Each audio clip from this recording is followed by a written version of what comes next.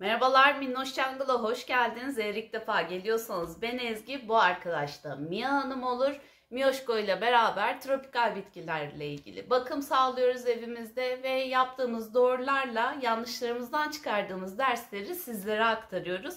Bu haftanın konusu olarak bence gayet önemli olan drenaj konusunu seçtim ve sonrasında da güzel bir deney yapacağım. İzlemenizi tavsiye ederim diyerek hadi başlayalım o zaman diyorum.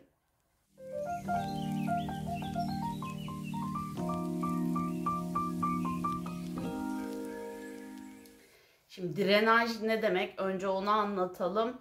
Drenaj e, gerek dışarıda bir bahçede olsun, bir toprak arazide olsun ya da saksılarımızda olsun fazla suyun alandan uzaklaştırılması, tahliye edilmesi demek oluyor. Tabii ki ben bugün dışarı kısmından bahsetmeyeceğim. Bahçelerden, saksılarımızdan bahsedeceğim. Saksılarımızda doğru dengenin şöyle olması gerekiyor. Toprakların içerisinde hava ve nem dengesinin çok güzel bir şekilde oturmuş olması gerekiyor. Aksi takdirde nem çok fazla toprak içerisinde kalırsa kök çürümesiyle uğraşıyoruz ne yazık ki. Şimdi sudan kaynaklı evet fazla nemden kaynaklı çok uzun süre orada kalmasından kaynaklı bir kök çürümesi olabilir ama hava boşlukları çok fazla olursa da gene kök çürümesi, kök kuruması diyelim biz ona. Bu da gerçekleşebiliyor ve kökler işlevlerini yitirebiliyorlar. Bu da ufak bir bilgi olsun. Şimdi güzel birkaç tane terime girmek istiyorum. Belki eski dönemlerden kimya fizik derslerinden kimyada anlatılıyordu herhalde. Bu konuları belki hatırlıyor olabilirsiniz. Kılcallık yani kapiler olaydan bahsedeceğim. Kapiler olay bir e, maddenin moleküllerinin başka maddelerin moleküllerine bağlanarak hareket etmesi diyebiliriz. En güzel örnek ne aslında kapiler olay yani kılcallık bizim bitkilerimizin köklerinin o nemi alıp yer çekimine ters bir şekilde yapraklara kadar besini, minerali her şeyi taşıması demek oluyor. Aynı zamanda gaz lambalarındaki fitiller de bu şekilde çalışıyor. Ee, aynı zamanda bizim damarlarımızın içinde gezen kan da bu şekilde çalışıyor. Yer çekimine ters bir şekilde ilerliyor kapiler, kapiler olay sayesinde sıvılar. Şimdi suyun moleküler seviyede kendisini kendi moleküllerine çekmesi yer çekiminden ciddi anlamda daha büyük bir güce sahip. Önce onu söyleyeyim. Yani zaten bu sayede yukarıya doğru gidiyor. Moleküller birbirini çeke çeke yer çekimine karşı gelmeyi başarıyorlar. İşte bundan kaynaklı olarak eğer topraklarımızın içerisinde yeterli hava boşluğu yoksa bizim sulama sırasında koyduğumuz su yer çekiminin etkisiyle aşağıya doğru gidemiyor ve toprağın içerisinde kalıyor çünkü su molekülleri birbirini çok sıkı bir şekilde tutmayı başarıyorlar. Mesela kohezyon var su moleküllerinin birbirini tutması gücü kohezyon oluyor. Adezyon ise başka bir maddeye tutunabilme gücüne deniyor ve bu başka maddeye tutunabilme güçleri aslında su moleküllerinin ciddi anlamda yer çekiminden daha fazla. Yani küçük bir örnek vermem gerekirse benim elimdeki bu su damlası şu an birbirlerine kohezyon olarak bağlı. Adezyonla da benim parmaklarıma bağlı.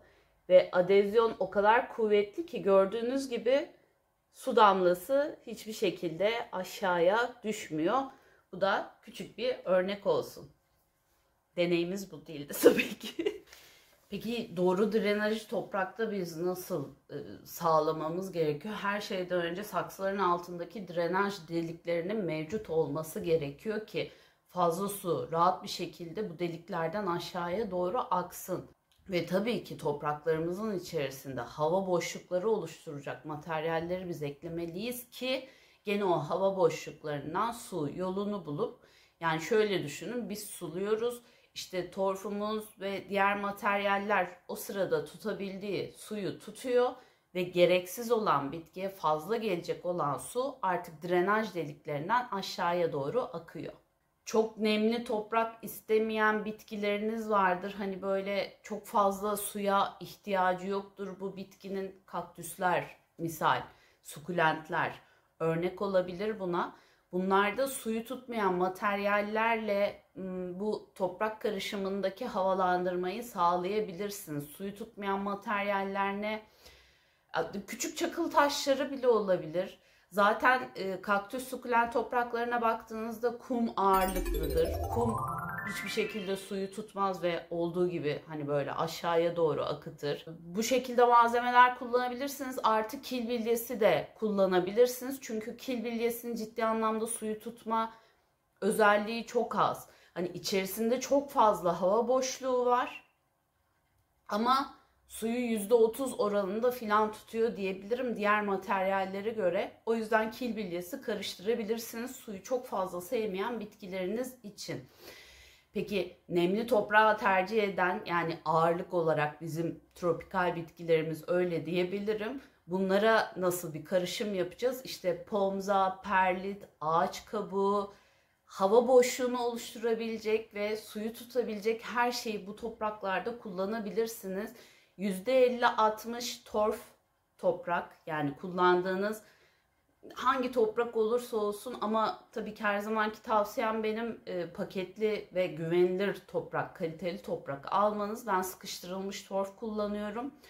İşte %50-60 oranında bu torftan katıyorum ve kalan %40'lık ya da %50'lik oranda ise pomza, perlit, ağaç kabuğu bunları kafama göre bir şekilde karıştırıyorum.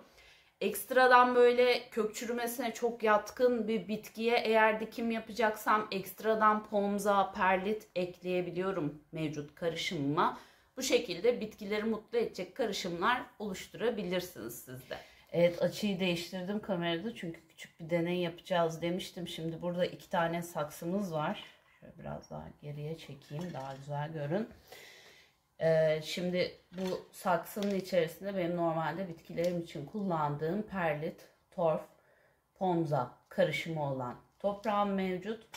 Burada ise sadece torf mevcut. Yani koko koir aslında Hindistan cevizi kabuğu mevcut. Şimdi bu ikisine ben aynı oranda su dökeceğim ve bakalım şöyle bir bakalım drenajımız nasıl çalışacak.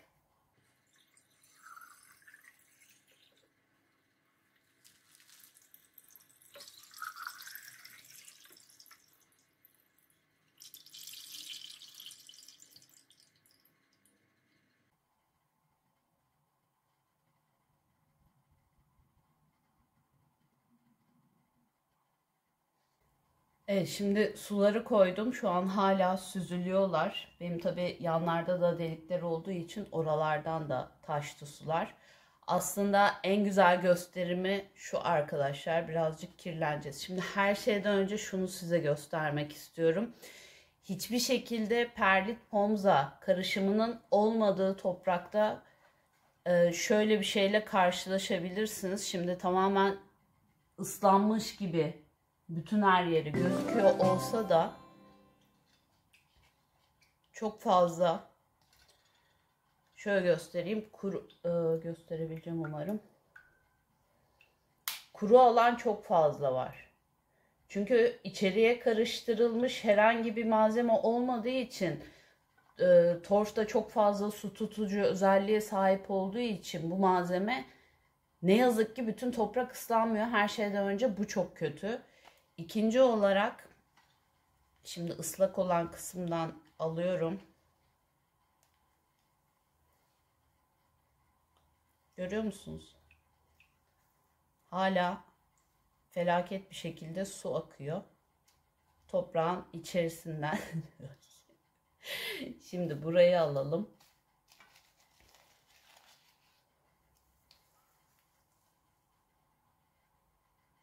Birkaç damla. Çünkü 10-15 dakika zaten beklememiz gerekiyor. Yani gördüğünüz gibi e, bunun içerisinde yaşayan bir bitkide ciddi anlamda sıkıntı olacaktır. Aynı anda sıkıyorum farklı yerlerden aldığım toprakları.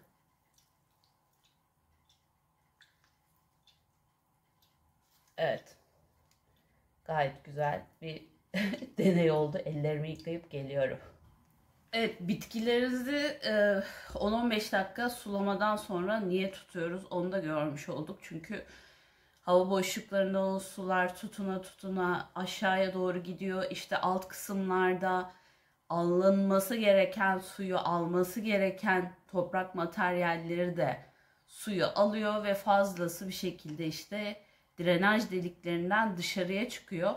Bu arada ufak bir uyarı drenaj deliğinin yeri de çok önemli. Ciddi anlamda hani e, hangi malzemeyi hangi saksıyı kullanırsanız kullanın. Ben bazen pet şişeleri bile şeffaf saksı haline getiriyorum. Orada hani şeye dikkat edin. Şöyle göstereyim hemen.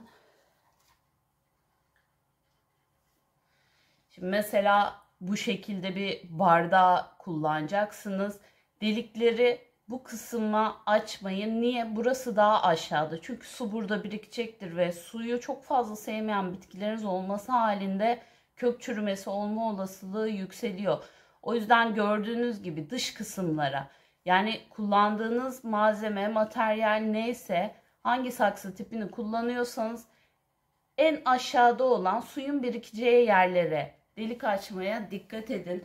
Bazı saksılarda ciddi anlamda çok az delik var. Drenaj deliği var. Bu da bir risk. Bir tane deney izledim. Hmm, şu an yapmayacağım ben onu. Çünkü yani yapan olduğunu çok fazla düşünmüyorum. Aşağıya e, drenaj amaçlı çakıl taşları koymak ya da bir kil bilyesi falan koymak bunu yapmayın. Niye biliyor musunuz? Çünkü biz sulama yaptığımız zaman şimdi suyun birikme alanı aslında şurası oluyor. Şimdi siz bu kısma çakıl taş eğer drenajsız bir şeyden bahsediyorum tabi. Şimdi saksının altındaki basınçla beraber bu kısımda çok fazla su birikiyor. Sonrasında süzülen su zaten burada biriken su. Şimdi siz buralara çakıl taşı işte kil bilyesi falan koyup bunun üstüne toprak koyduğunuzda bu sefer köke çok yakın olan kısımda bir birikme olacak suyun birikmesi. Kapiler olaydan bahsettim ya su molekülleri kendilerini burada tutuyorlar. O yüzden onu hiçbir şekilde yapmayın. Gayet güzel bir şekilde toprağınızın drenajını arttırın. İçerisine yeterli şekilde materyal eklemeyi unutmayın ve e, bitkileriniz kök çürümesi yaşamasın diyorum ve bu haftalık bu kadar. Kendinize çok iyi bakın. Ben şimdi bugün evin birazcık tasarımını değiştirmeyi planlıyorum. Bakalım yapabilecek miyim diyerek o işlere girişmeye başlayacağım. Bir sonraki videoda görüşürüz. Bay bay.